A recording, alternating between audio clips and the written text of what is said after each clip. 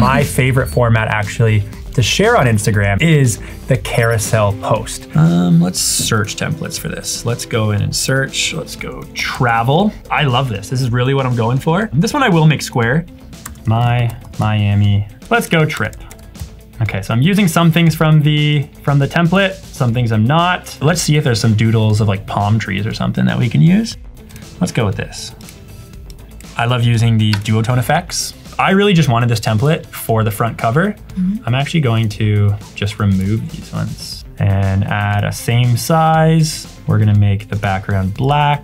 So what I'm doing is I'm adding a photo grid and then we're gonna replace this with some images. What I'm doing here is I'm just clicking replace, and then this one I'll replace from photos. Yeah, there we go. Let's go ahead and we'll do this one. Here are my options. We got my Miami trip, we got travel photo, we got teaching or speaking photo. So I'm gonna show a way you can use draw shape to really add some drawings onto your design. So let's go to elements. So you just go to shapes and then it gives you this option. These different dash ones. Yeah, like a little road. Yeah. So I'm gonna go ahead and put those in there. I'm gonna oh, make. Oh, and you can doodle. oh, yeah, you wow. gotta try this. You gotta okay. try this after this. It's so fun. Okay. So we'll go. Ooh. There we go. right? That was amazing. there we go. And then now this will be our finish. Add a little airplane here. Make it visible.